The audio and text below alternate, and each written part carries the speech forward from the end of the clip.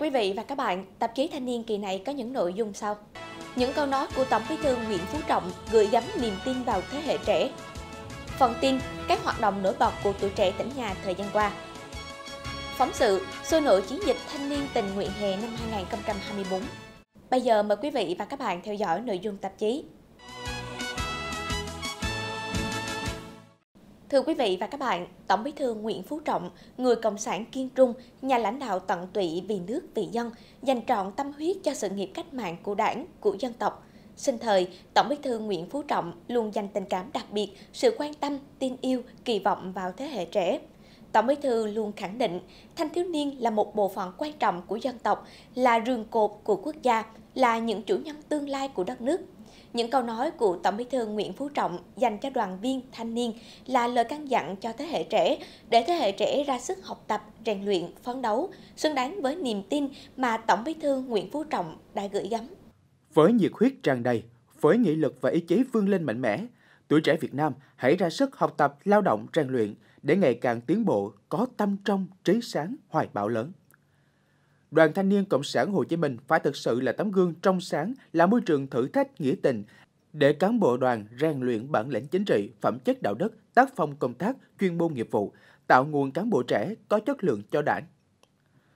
Năm tiên phong mà Tổng Bí thư Nguyễn Phú Trọng căn dặn là tiên phong trong việc trao dồi đạo đức cách mạng, tiên phong trong học tập rèn luyện, tiên phong trong lao động sản xuất, sáng tạo, tiên phong tình nguyện trong thực hiện nhiệm vụ chính trị, những việc khó, việc mới, sẵn sàng chia sẻ vì cộng đồng, tiên phong trong việc bảo vệ vững chắc độc lập chủ quyền thống nhất và toàn vẹn lãnh thổ quốc gia dân tộc. Tôi mong các bạn trẻ, đặc biệt là các bạn đoàn viên, đảng viên trẻ, hãy luôn ghi nhớ những ý nghĩa của chiếc huy hiệu mà các bạn đang đeo trang trọng trên ngực áo với lời bác kính yêu căn dặn, tay cầm cờ đỏ sao vàng tiến lên. Vừa qua, Ban Thường vụ tỉnh đoàn đã tổ chức hội nghị sơ kết công tác đoàn và phong trào thanh thiếu nhi 6 tháng đầu năm, triển khai phương hướng nhiệm vụ 6 tháng cuối năm 2024.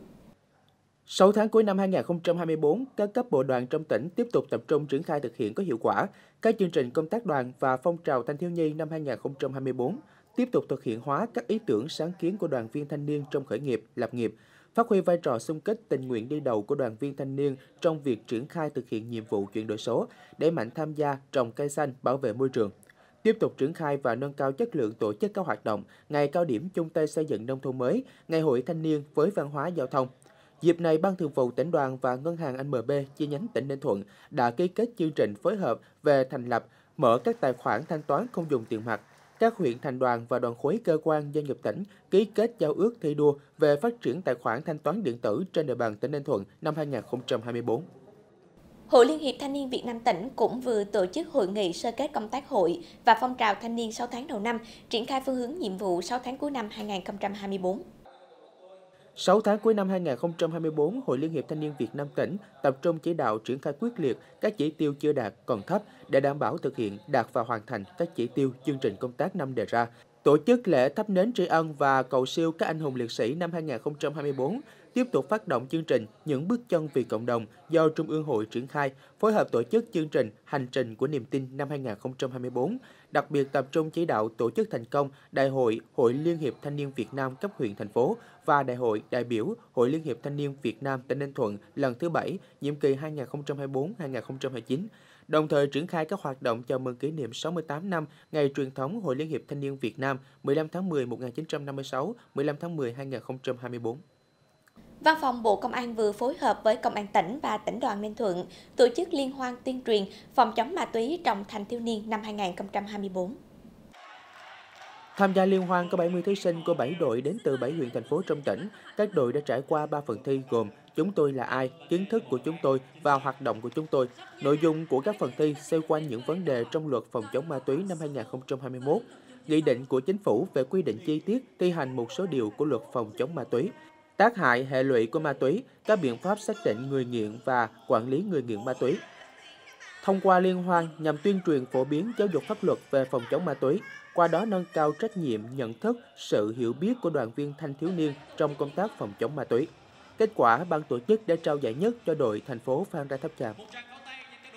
Vừa qua, Ban tổ chức chương trình học kỳ trong quân đội và học làm chiến sĩ công an năm 2024 tổ chức bế giảng lớp học làm chiến sĩ công an năm 2024 cho 88 chiến sĩ nhí. Chương trình học làm chiến sĩ công an được Công an tỉnh phối hợp tỉnh đoàn và các sở ngành liên quan tổ chức hàng năm cho các em học sinh trung học cơ sở trên địa bàn tỉnh trong thời gian 7 ngày, các em được tham gia nhiều hoạt động thiết thực và ý nghĩa như thực hành một số nội dung của điều lệnh nội vụ Công an Nhân dân, làm quen với một số động tác võ thuật cơ bản, trải nghiệm học làm chiến sĩ cảnh sát phòng cháy chữa cháy, học làm chiến sĩ cảnh sát giao thông, kỹ năng sinh hoạt tập thể, giao tiếp, ứng xử, làm việc nhóm, kỹ năng phòng chống tai nạn thương tích, xâm hại trẻ em, kỹ năng sơ cứu ban đầu, kỹ năng sử dụng mạng xã hội, Đặc biệt là được tham gia các hoạt động dã ngoại, tham quan, tìm hiểu di tích lịch sử, bãi đá, bi năng tắc, tham quan vườn quốc gia Phước Bình và tìm hiểu cuộc sống của đồng bào Trắc Lai, xã Phước Bình, huyện Bắc Ái. Kết thúc chương trình, 100% học viên đã hoàn thành yêu cầu ban tổ chức đề ra. Chương trình học làm chiến sĩ công an là sân chơi lành mạnh và bổ ích cho các em học sinh trong dịp nghỉ hè, qua đó tạo môi trường rèn luyện các kỹ năng cần thiết trong cuộc sống, xây dựng tính kỷ luật tự lập, ý chí vượt khó và định hướng nhân cách, lối sống có trách nhiệm với bản thân, gia đình và xã hội cho các em. Ban tổ chức chương trình học kỳ trong quân đội và học làm chiến sĩ công an năm 2024 cũng vừa tổ chức lễ tổng kết chương trình học kỳ trong quân đội lớp thứ hai năm 2024. Chương trình học kỳ trong quân đội lớp thứ hai năm 2024 diễn ra từ ngày 21 tháng 6 đến ngày 30 tháng 6 với sự tham gia của 92 học viên đến từ các trường trung học cơ sở, trung học phổ thông trên địa bàn tỉnh. Trong 10 ngày, các học viên được trải nghiệm môi trường quân đội, rèn luyện tính kỷ luật, tự lập, đồng thời được trang bị kỹ năng phòng chống đuối nước, tai nạn thương tích và các kỹ năng sinh hoạt tập thể. Bên cạnh đó, các học viên còn được tham gia hoạt động dã ngoại, tham quan, tìm hiểu các di tích lịch sử, địa chỉ đỏ và hoạt động xã hội, tình nguyện, bảo vệ môi trường. Tại lễ tổng kết, ban tổ chức chương trình học kỳ trong quân đội và học làm chiến sĩ công an năm 2024 đã trao giấy chứng nhận hoàn thành chương trình học kỳ trong quân đội lớp thứ hai năm 2024 cho 90 em học viên. Vừa qua, Ban Thường vụ tỉnh đoàn tổ chức lễ ra quân chương trình tiếp sức mùa thi và chiến dịch Hoa Phượng Đỏ năm 2024. Chương trình tiếp sức mùa thi và chiến dịch Hoa Phượng Đỏ năm 2024 có 40 đội hình tình nguyện tại 17 điểm thi với hơn 400 tình nguyện viên đến từ trường cao đẳng nghề Đại học 55 Văn Hiệu Ninh Thuận, nhóm cựu học sinh, thanh niên xung kích Ninh Thuận tại thành phố Hồ Chí Minh và các thanh niên tình nguyện tại chỗ do các huyện thành đoàn thành lập tại các trường trung học phổ thông trong toàn tỉnh. Tại chương trình, các tình nguyện viên đã hỗ trợ vật dụng thi, phương tiện di chuyển trong giữ xe, hỗ trợ thực phẩm, nơi nghỉ ngơi và đảm bảo an ninh trật tự an toàn giao thông. Dịp này, ban tổ chức chương trình đã trao tặng 30 suất học bổng thắp sáng ước mơ, mỗi suất 500.000 đồng cho 30 thí sinh có hoàn cảnh khó khăn. Vừa qua tại thị trấn Tân Sơn, huyện Ninh Sơn, Ban Thường vụ tỉnh đoàn tổ chức lễ ra quân ngày cao điểm chiến sĩ tình nguyện xây dựng đô thị sáng xanh, sạch đẹp, văn minh, an toàn trong chiến dịch thanh niên tình nguyện hè năm 2024. Tại buổi lễ, lãnh đạo tỉnh đoàn đề nghị đoàn viên thanh niên phát huy vai trò của đội hình thanh niên tình nguyện, hoàn thành các chỉ tiêu xây dựng mô hình khu dân cư thanh niên chuyển đổi số tại thị trấn Tân Sơn, triển khai có hiệu quả phong trào ba trách nhiệm trong việc tham gia xây dựng đô thị văn minh, hỗ trợ người dân thực hiện dịch vụ công trực tuyến, giải quyết thủ tục hành chính, tích cực chủ động đăng ký với cấp ủy chính quyền địa phương đảm nhận các công trình phần việc thanh niên gắn với tham gia thực hiện hoàn thiện các tiêu chí xây dựng đô thị văn minh. Sau buổi lễ, đoàn viên thanh niên đã ra quân tuyên truyền và hướng dẫn người dân cài đặt sử dụng ứng dụng VNeID, tuyên truyền chống rác thải nhựa và phát động xây dựng mô hình chợ dân sinh giảm thiểu rác thải nhựa tại chợ Tân Sơn, tuyên truyền hướng dẫn phân loại rác thải sinh hoạt tại nguồn, trồng 50 cây dầu và làm vệ sinh môi trường tại tuyến đường nhánh thuộc khu phố 1 thị trấn Tân Sơn. Thưa quý vị và các bạn, đã thành truyền thống vào mỗi dịp hè, cùng với tuổi trẻ cả nước, tuổi trẻ Ninh Thuận tích cực hưởng ứng tham gia chiến dịch thanh niên tình nguyện hè năm 2024 với nhiều hoạt động tình nguyện được triển khai rộng khắp hướng đến các địa phương khó khăn, vùng sâu, vùng xa, vùng đồng bào dân tộc thiểu số và miền núi. Phát huy tinh thần sung kích tình nguyện vì cuộc sống cộng đồng, đoàn viên thanh niên trong tỉnh đã ghi dấu ấn bằng những công trình phần việc thiết thực ý nghĩa, qua đó lan tỏa những giá trị tốt đẹp, khẳng định vai trò của thanh niên trong sự nghiệp đổi mới và phát triển kinh tế xã hội của quê hương đất nước. Mở đầu chiến dịch thanh niên tình nguyện hè năm 2024 là chương trình tiếp sức mùa thi. Theo đó, các cấp bộ đoàn trong tỉnh đã thành lập 35 đội hình tình nguyện với 490 đoàn viên thanh niên tham gia giúp đỡ các thí sinh trong kỳ thi tuyển sinh vào lớp 10 trung học phổ thông năm học 2024-2025. Đối với kỳ thi tốt nghiệp trung học phổ thông năm 2024 đã thành lập 40 đội hình tình nguyện tại 17 điểm thi với hơn 400 tình nguyện viên. Các bạn đoàn viên thanh niên đã hỗ trợ phát nước uống, chỉ dẫn sơ đồ phòng thi, tham gia phân luồng giao thông tại các điểm thi. Mình cũng đã tham gia cái hoạt động tiếp xúc mùa thi này là 4 năm liên tiếp rồi. Mình ở điểm Chu Văn An thì uh, thông qua cái hoạt động này thì mình muốn tiếp thêm sức tiếp thêm động lực cho các bạn sĩ tử có thể tự tin và hoàn thành tốt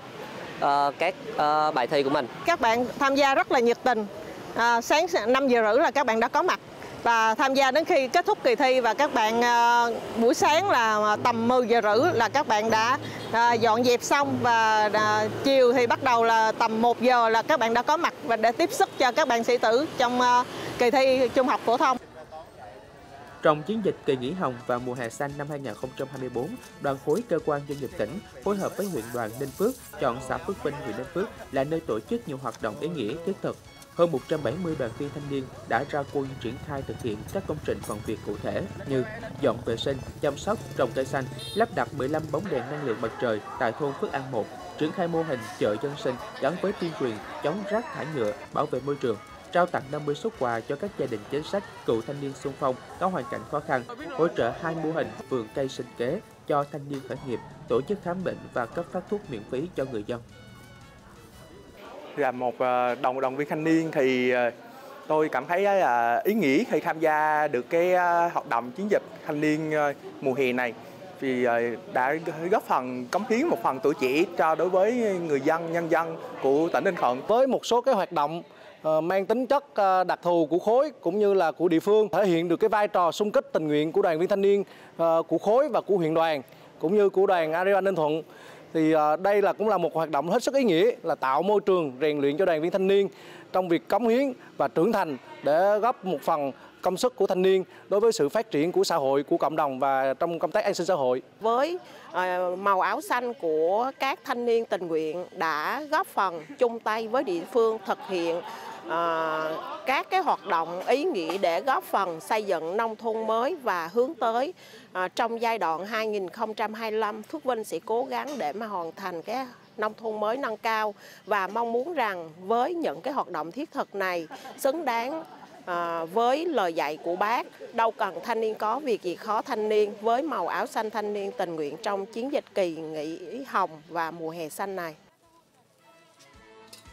Tại xã Phước Thắng, huyện Bắc Ái, Ban Thường vụ tỉnh đoàn đã triển khai các đội hình thanh niên tình nguyện chi viện hè gắn với ra quân chiến dịch Hành quân xanh mùa hè xanh năm 2024. Gần 100 bạn đoàn viên thanh niên đã tham gia xây dựng tuyến đường thanh niên, cải tạo và thực hiện khu vui chơi cho trẻ em tại trường tiểu học Phước Thắng, nạo vét khơi thông dòng chảy 1,3 km kênh mương, triển khai trồng mới 50 cây hoàng yến, tuyên truyền phân loại rác thải sinh hoạt tại nguồn, hướng dẫn cách phòng chống dịch bệnh mùa hè.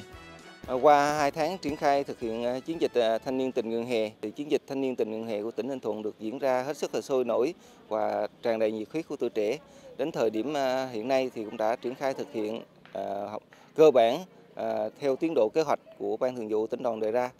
Ban Thường vụ tỉnh đoàn tuổi trẻ của tỉnh Ninh Thuận à, không những phát huy được cái vai trò của tuổi trẻ ở tại tỉnh nhà, đồng thời triển khai thực hiện tốt cái chủ trương ba liên kết cũng đã gắn kết chặt chẽ và tiếp nhận triển khai phối hợp với lại các đội hình thanh niên tình nguyện ờ, từ thành phố Hồ Chí Minh về triển khai tại các cái mặt trận, đặc biệt là các xã vùng sâu vùng xa của tỉnh như xã Ma Nới, xã Pha Nới của huyện Ninh Sơn, xã Phước Hà của huyện Thuận Nam, xã Phước Thắng của huyện Bắc Ái và vùng ven biển xã Phước Diêm, xã Khà Ná của huyện Thuận Nam. Đây à, là những cái hoạt động tình cảm gắn kết giữa tuổi trẻ của tỉnh Ninh Thuận và tuổi trẻ thành phố Hồ Chí Minh triển khai thực hiện các công trình phần việc thanh niên để nhằm góp phần à, cùng với lại tỉnh tiếp tục phát triển kinh tế xã hội, đảm bảo quốc phòng an ninh, hướng đến thực hiện thắng lợi cái nhiệm vụ phát triển kinh tế của tỉnh nhà năm 2024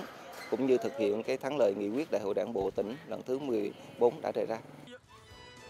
Qua gần 2 tháng triển khai chương trình thanh niên tình nguyện hè, các hoạt động đã thu hút hơn 22.000 lượt đoàn viên thanh niên tham gia, xây dựng mới hai tuyến đường sáng xanh sạch đẹp an toàn, trồng mới hơn 15.000 cây xanh, xây mới 4 căn nhà nhân ái, nhà hạnh phúc, nhà khăn quàng đỏ, trao tặng hàng nghìn phần quà cho thiếu nhi có hoàn cảnh khó khăn. Chiến dịch thanh niên tình nguyện hè năm 2024 đã tạo dấu ấn đậm nét thể hiện tinh thần xung kích tình nguyện của tuổi trẻ tỉnh nhà với những công trình phần việc ý nghĩa thiết thực.